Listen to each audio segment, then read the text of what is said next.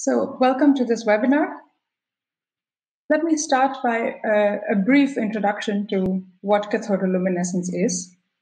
So cathodoluminescence or CL is light that is emitted under irradiation by free electrons. So if you look at this image here on the screen, when you have a high energy electron beam interacting with the material, the electrons in the primary beam, they enter the material and they penetrate to a certain extent. And throughout this depth, they have a range of interactions with the atoms and molecules in the material. So as a result of this interaction, you can get uh, different kinds of processes taking place. So you can have generation of X-rays, which are then imaged using EDS, uh, you can have secondary, low energy secondary electrons that are generated or high energy backscattered electrons. And both of these are imaged in the SEM using standard SEM detection techniques. If the material is thin enough and the energy of the electron beam is high enough, it may penetrate and come out the other end of the material. In that case, you can image transmitted electrons using a in a TEM or a STEM or electron energy loss spectroscopy. What can also happen is that you can have the emission of light, which takes place due to many different processes, all of which fall under the umbrella of cathodoluminescence. So why do we want to emit CL? Take a look at this structure here on the screen. This is a, a gold nanorod if you want to observe this structure, if you want to excite it using optical techniques, say you have light of wavelength of 750 nanometers, this is what the, the wavelength scale is in comparison to the dimensions of the nanorod. So you can see it's much, much larger. As a result, if you try to excite this nanorod using light, then the light spot would look something like the red ball that's shown here. So again, much larger than the nanorod itself. But if you want to study a local excitation and you use an electron beam, then the spot is much smaller. So you can excite different parts of the nano antenna. You can excite at a distance from the nano antenna, and you can image locally what happens uh, in different regions of the nano antenna by your excitation. So that's the main advantage of using electron excitation over optical excitation. It's the spatial resolution. So uh, it's a powerful technique, and here are some reviews on the topic. So in, in this webinar, I will go into different aspects of imaging CL, but for a thorough understanding of the process, I recommend that you check these reviews and other reviews because there are a lot of them available. So let me briefly describe how CL imaging is performed, so the hardware or the imaging system. CL imaging is most commonly performed in an electron microscope, like a scanning electron microscope or an SEM. So a complete system is made up of the SEM that's shown here, plus the light collection part, plus the light detection part. So for the light collection inside the vacuum chamber of the electron microscope, various techniques exist, including reflective optics, like uh, parabolic mirrors and elliptical mirrors, refractive optics, like microscope objectives, fibers, near field probes, and much simpler metallic light pipes. So the reflective optics approach is most common because it's relatively simple to integrate in the electron microscope and it provides a good performance because of the high numerical aperture or the NA, which can be as high as 0.95. So these are usually mounted above the sample and they have a hole in them through which the electron beam can access the sample. As a result, this approach is also compatible with thick or opaque samples. So advancements have been made in the alignment of such mirror optics by including motorized micro-positioning in the design, which greatly boosts the detection efficiency. So here you can see how it looks, the collection part that's inside the vacuum chamber of the SEM, and the detection part that's mounted outside under the blue cover, so this part of it. And this here is a parabolic mirror, which has a high NA and can be aligned with the help of motors to ensure efficient light collection. So with that brief description of the detection hardware, let's take a look at what parameters are important to perform CL detection. First is the acceleration voltage. The electron beam acceleration voltage is an important parameter for imaging CL. The higher the energy of the E-beam, the deeper it penetrates into the material. As you can see here, this is the interaction volume shown in red uh, with the material, the bulk material shown in yellow with a gradient. The higher the energy of the electron beam, the deeper it can go until it loses energy. So for bulk materials, if you use a higher electron energy, you can understand you can often get more CL emission. This is a good thing, but it also results in more background because more of the underlying substrate will be excited as well. So there's a compromise that needs to be achieved in order to get a good signal to background ratio. And that's why higher beam energy is not always better. Next parameter is the beam current. So is it always best to use a high current? Sending in a high current is good because it'll generate more CL signal, but too high a current may result in charging. Also, a higher beam current means a larger spot size, so there's also the risk of losing some spatial resolution. So should you always use low current? It's true that the spatial resolution would improve if you lower the current and therefore the spot size. But a lower current also means a lower signal and more noise. So you would need longer acquisition times to get enough signal. And that's why you need to strike a balance for a given sample. Now, another issue is sample damage or contamination. The combination of high voltage and high current may result in high CL emission, but it may also result in beam induced damage to the sample, or contamination, or heating, or charging.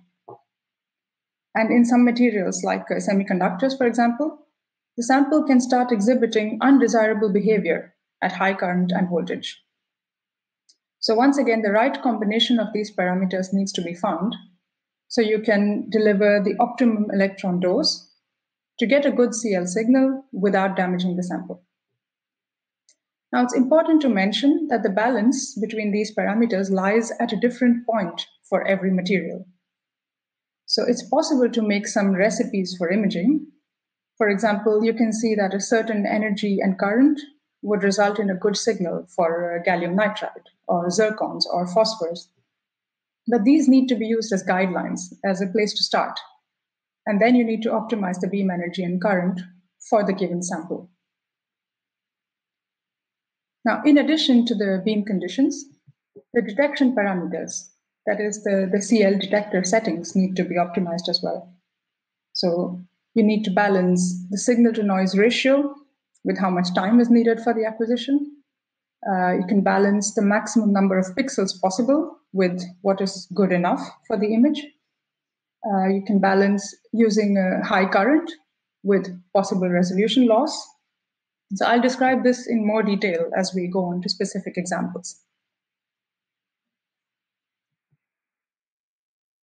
And I will do that by describing uh, imaging that has been performed using the different CL imaging modes.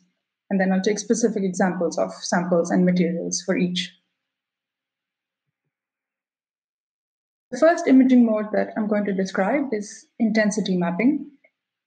So in this mode, you raster scan the beam over the sample, and for every point, you collect the CL with a single pixel detector, a photomultiplier tube.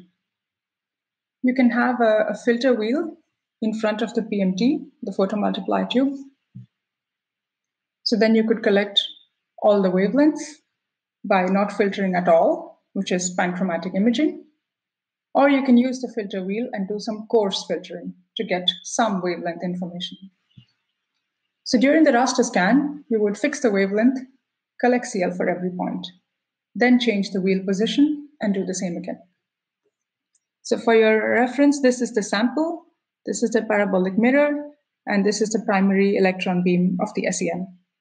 So the CL that's generated here is focused using the mirror and lenses, sent to the flip mirror, and then sent to the PMT with or without a filter wheel in between. The advantage of this mode is that it can be very fast. It's possible to use dwell times shorter than 10 microseconds per pixel. So you can do video rate imaging, have a, a live scan, and you can scan the sample very fast and decide what you would like to image in more detail, because that's not always clear from the beginning. Another important feature of this mode is that you can scan a large field of view. So with the electron beam, you can scan half a millimeter by half a millimeter, for example. And then by scanning the stage, you could build up an even larger image tile by tile. So this is particularly nice for geological samples where the features can be quite large. So you can Uh, image tiles in an automated manner and stitch them and have a, a very large area image.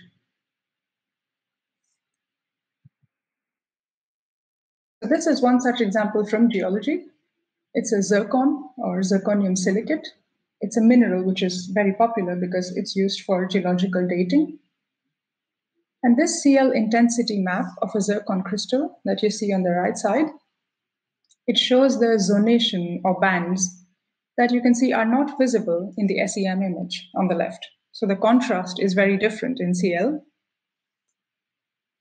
this is valuable information for geologists and it helps them select the crystals of importance for further analysis like mass spectroscopy. Now this image was acquired at 10 kV and 500 picoamps. And you can see that at 10 kV there is sufficient CL signal. Now there would be some broadening or loss of resolution because it's a high energy. But given the size of the features and the size of the zones, this broadening is not significant. So at higher energy, say 20 or 30 kV, this blurring becomes more significant. Now, when we come to the current, uh, we used 500 picoamps for this image. You could use a higher current, which would make the imaging faster, but we see that it may result in charging, so you wouldn't be able to acquire a good quality image. Now, as I mentioned, in addition to the beam conditions, the CL detector parameters also need to be optimized. So the pixel dwell time used here was 40 microseconds. So the electron beam was exposing every pixel for 40 microseconds. A higher dwell time would result in better signal to noise ratio, that's true, but it would also take longer to acquire the image. So it's important to realize that there's a trade off that's been achieved here. The parameters have been selected to give a high quality image of this sample. Another detector setting that's important is the image resolution. So this image has 2048 by 2048 pixels. Now you could acquire an image with more pixels, say 4096 by 4096, but you would again need to compromise on the speed of the acquisition. So once again, given the feature sizes and the dimensions of the zones, we can see that 2048 pixels is good enough. Also important to point out here is that this is an RGB image, not a panchromatic one. So it was acquired with three color filters, which means that you always have lower signal each time than with panchromatic imaging. So if you perform panchromatic imaging with this sample instead, you could use an even lower dwell time than 40 microseconds and acquire faster. There are a lot of different types of zircons that we imaged using RGB intensity mapping, as you can see here. These are some examples, and they show really sharp boundaries and beautiful zonation. So these were also acquired at 10 kV.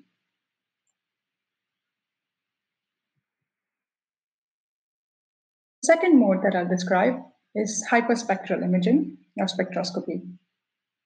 This mode is used when you need a full spectrum for different excitation positions of the sample.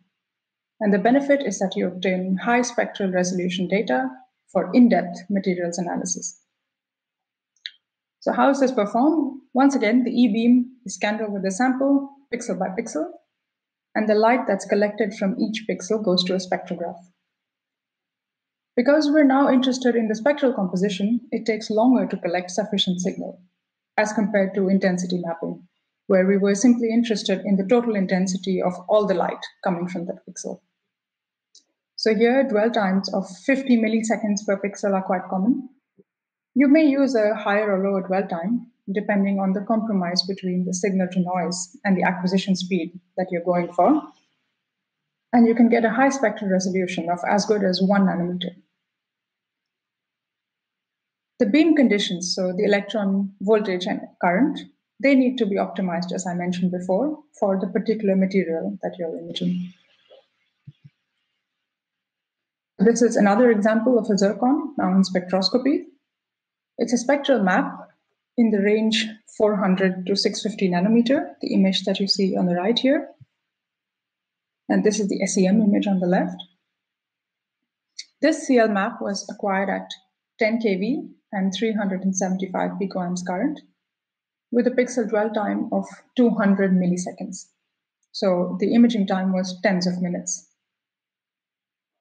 For other materials like phosphors or direct bandgap semiconductors, you need less current to get a high quality image. And then for some materials, you may need much more. So what can you do with such an image? Here you can see the full spectrum at different locations. So the locations actually show different bands. And the panel shows how the spectrum changes as you move radially out from the center. So the numbers refer to the different bands or the zones on the crystal. So you can see the differences between different bands. Now, if you look at the spectrum from zone 6, for example, that's shown here, the broad peaks are due to intrinsic defects, and the narrow peaks are due to extrinsic defects. And what you can do with such a spectrum is to identify the presence of elements like dysprosium and erbium. And this is not limited to zircons. So you can also perform this on different geological materials like carbonate, apatite, and monazite. And it's a very sensitive technique. So you can identify down to 10 to the power 14 atoms per centimeter cube using this kind of spectroscopy. Now here's an example from the field of semiconductors. This is a sample of indium gallium nitride quantum wells that are sandwiched in gallium nitride. And as you can see, the scale bar here is 200 nanometers. Now this acquisition was performed at 5 kV and 52 nano picoamps because the features here are much smaller. So we have to avoid the blurring that's caused by using a high current or voltage. Because for such a small lens scale, the blurring would be very significant. So here is a top view of the structures, which is hexagonal, and the spectra at the different nanowire locations can be seen here. That enables the user to, to characterize them. So the numbers here refer to the nanowire positions. And here is an RGB image that shows a spatial map for each color. Now the spectra are different due to differences in the size and the internal material properties. So not all the nanowires have the same atomic properties, gradient and indium content, etc. These are different for the different locations. And even within a wire, there are variations in structure and in the thickness of the indium gallium nitride wells, etc. That's why you see a color difference within a nanowire itself. And this is an important application because it's useful in ambient lighting, photonics, uh, LED devices, RGB pixels in displays.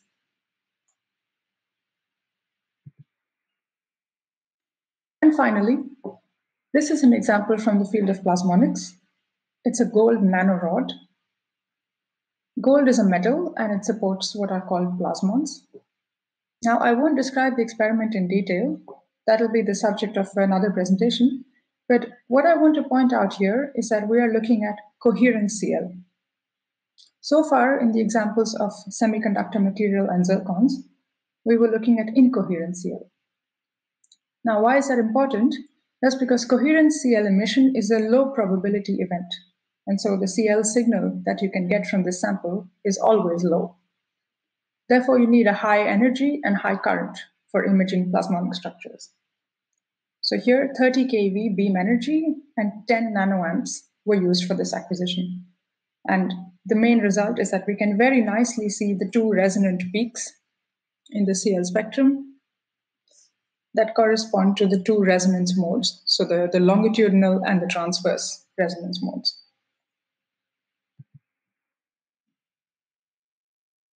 Now, the third imaging mode is the angle resolved imaging mode.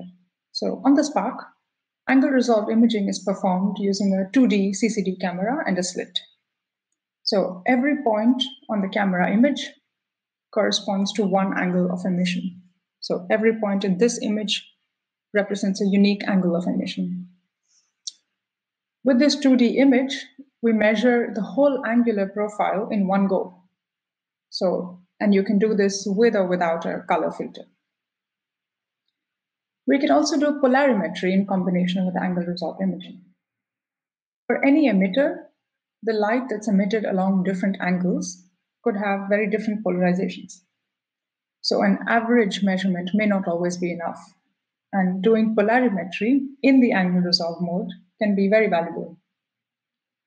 So you can find out the optical modes available, determine the degree of polarization of the source, and you can study chirality, which is quite hard to do. Regarding the imaging parameters, in angle resolved imaging, the CL signal that we collect is filtered with respect to the emission angle. So it's slower than spectroscopy. It's about 10 to 50 times the time taken for spectroscopy because it takes longer to build up sufficient signal in each angle. Now here's a, an example of such a measurement that I'll describe briefly. This is an indium phosphide nanowire and this geometry that you see here has a strong polarizing effect on the band edge emission. So these are the angle resolved polarization images, so I theta and I psi. You can see that the CL is mostly polarized in the azimuthal direction. And that's because of the optical modes available in this wire. And the, the data also match very well with the theoretical prediction. So it's very valuable information to have about an emitter.